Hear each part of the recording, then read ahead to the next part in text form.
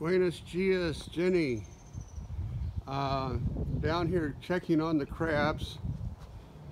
So I went in this I came in this morning and you have three crabs here.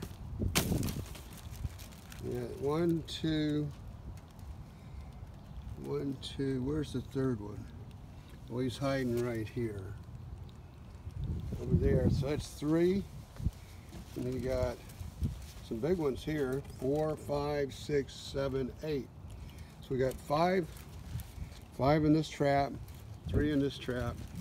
So that's eight. That's a pretty pretty big haul. This guy's pretty upset at this guy here.